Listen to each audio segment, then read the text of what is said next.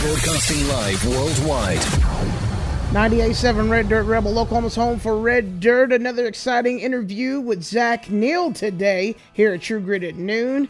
And uh, we're going to be talking about pretty much what he's going to be doing for the year, debuting All Pretty Horses, and a whole lot more. And it's going to be brought to you by the Billingsley family of dealerships. Find one near you today at BillingsleyUSA.com, celebrating 60 years of the Billingsley Way standard of excellence before, during, and after this sale. And it's their one stop shop. You can find an array of inventory. Just check it out, BillingsleyUSA.com. DCF Concerts, your Oklahoma City, Tulsa, and even some parts of Kansas. They have venues to provide a plethora of entertainment for you and your family. Check it out, DCFconcerts.com. Find a venue near you and listen right here to True Grit at noon for your opportunities to text and win great, amazing tickets to amazing events.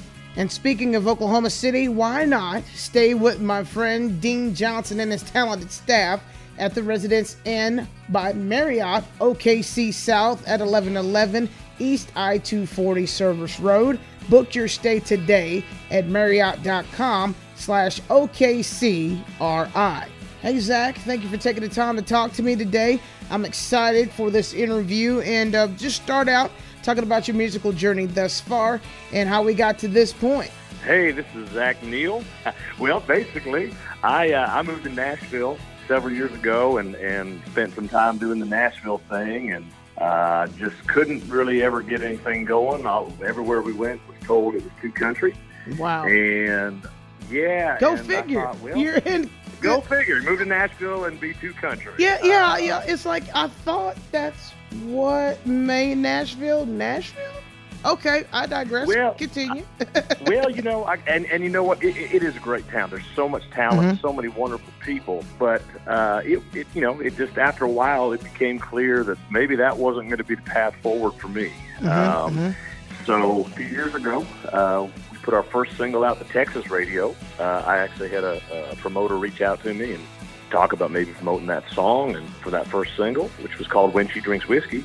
And my timing was fantastic because we put it out, and about three weeks later, COVID shut everybody down, and uh, and uh, thankfully the song still managed to do well at radio, which I'm very grateful for. So we said, okay, uh, let's let's put another single out, and we started uh, touring a lot more heavily in Texas. You know that led to us winning the Texas Country Music Association Male Artist of the Year. Yes, sir. fall. Yes, sir. I was there. And and I, and honestly, I, I wasn't really prepared for that. It was pretty surprising, but very grateful. So we uh, we spent a lot of our time on the road, a lot of time in Texas.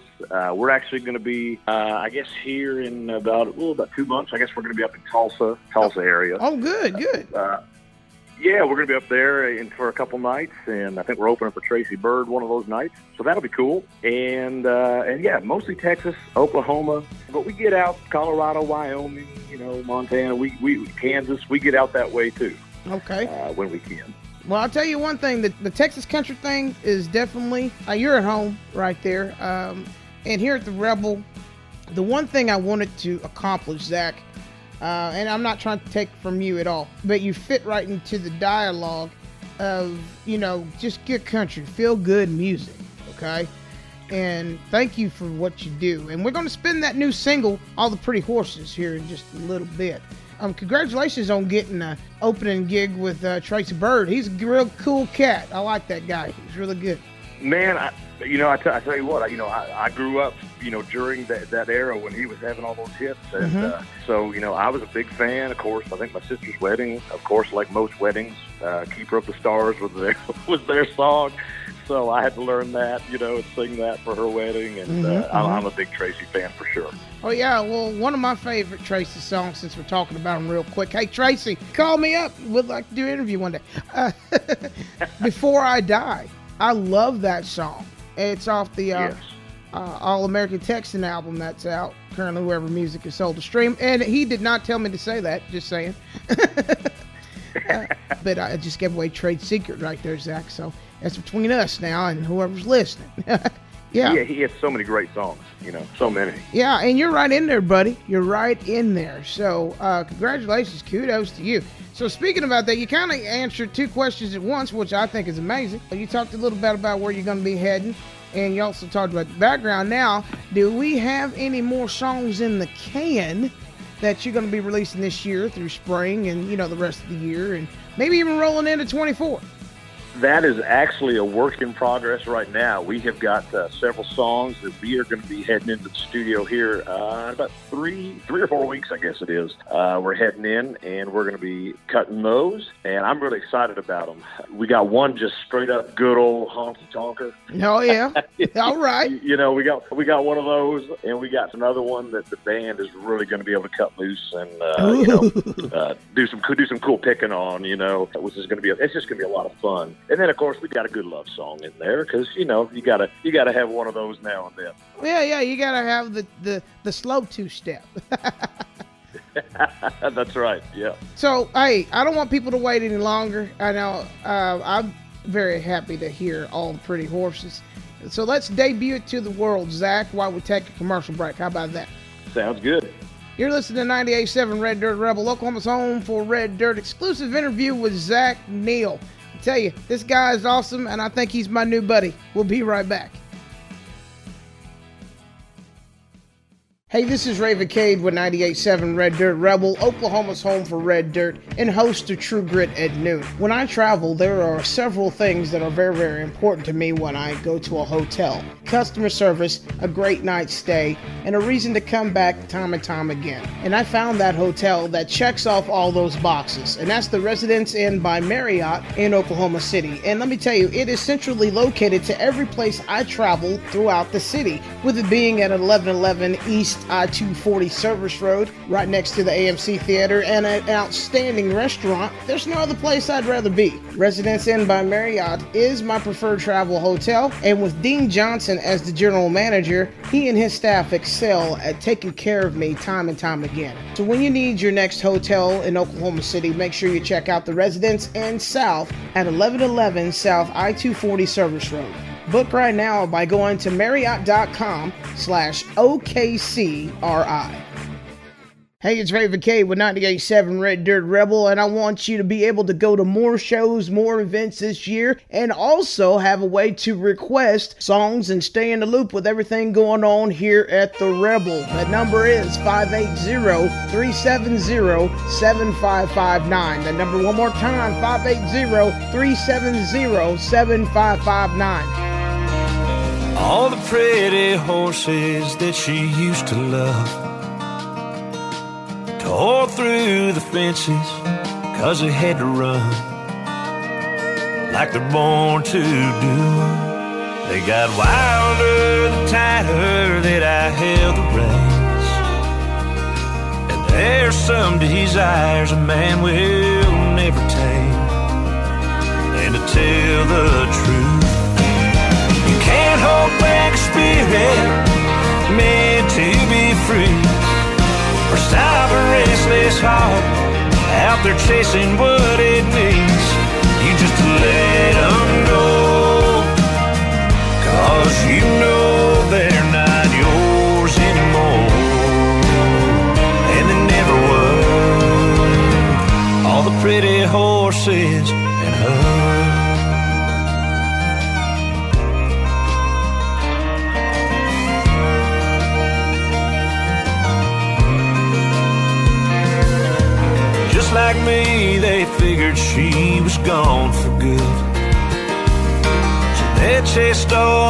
after her the way I wish I could.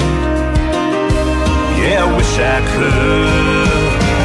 But you can't hold back a spirit meant to be free. Or stop a restless heart out there chasing what it means.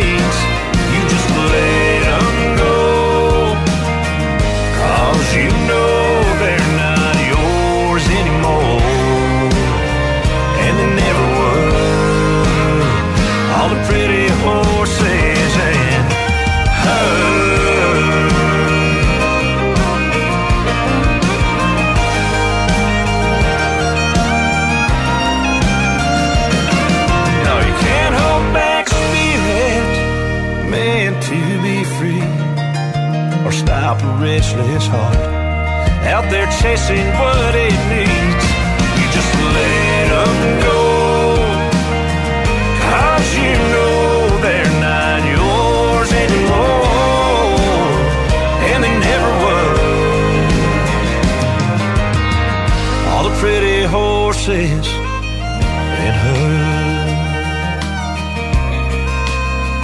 All the pretty horses. All in her.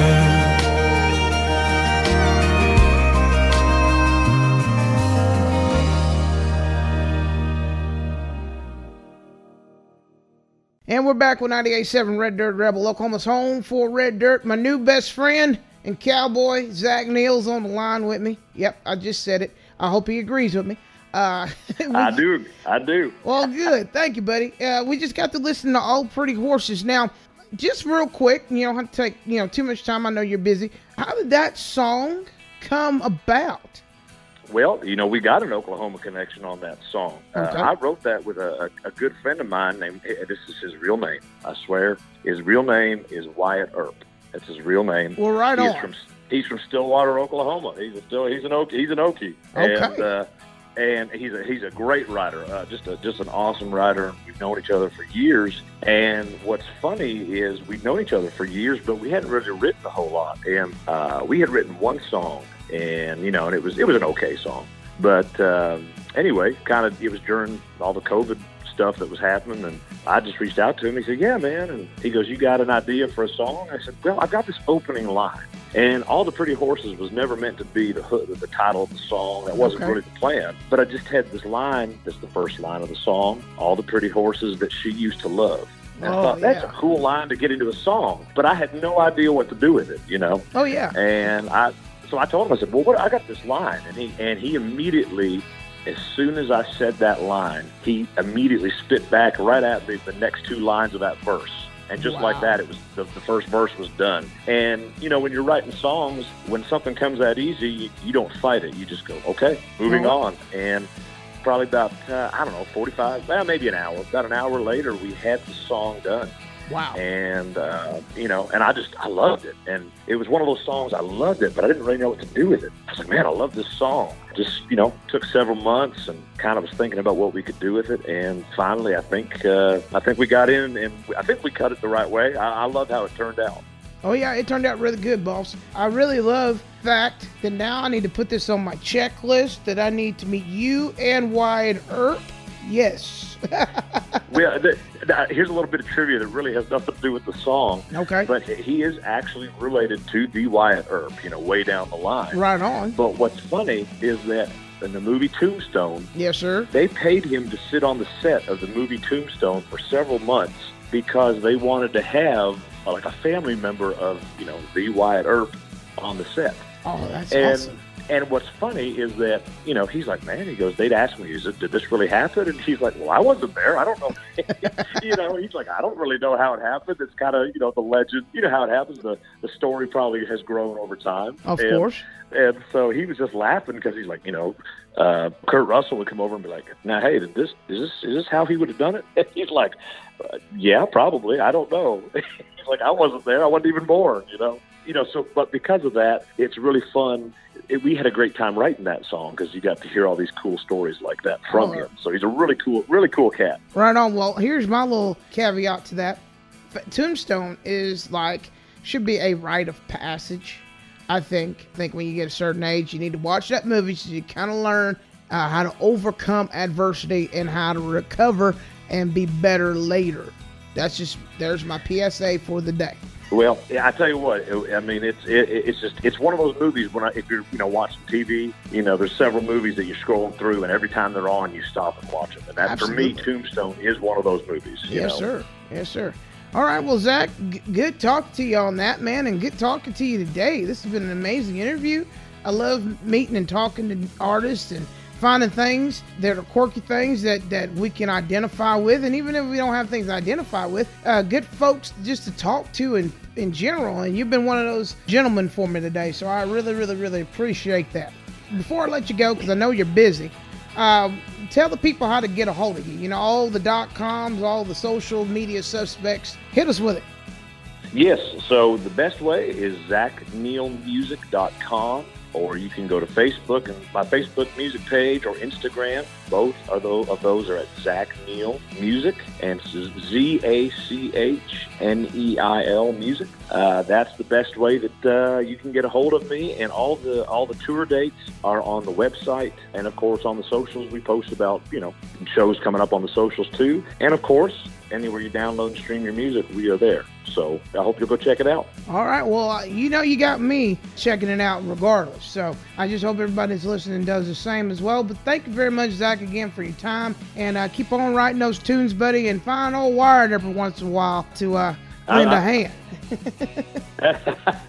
I think we ought to write another one after this one. But thanks for having me, Raven. All right. Well, you've been listening to 98.7 Red Dirt Rebel exclusive interview with Zach Neil. Make sure you check him out on all his social suspects and make sure you're listening to The Rebel for all of his songs. We got them covered and uh, a lot of great music, real country music, you're going to find right here for Oklahoma's home for country, red dirt, true grit, and a little outlaw. This is 98.7 Red Dirt Rebel. We'll be right back.